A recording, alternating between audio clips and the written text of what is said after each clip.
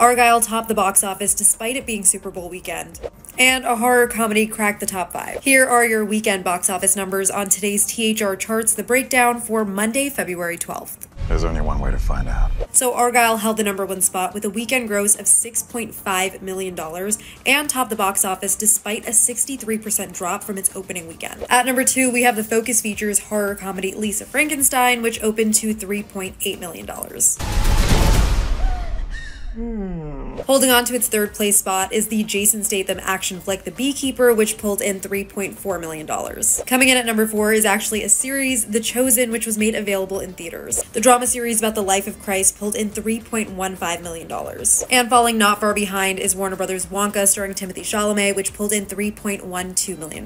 My name is Willy Wonka. And there's your top five. Thanks for tuning in to THR Charts, your destination for what to watch right now.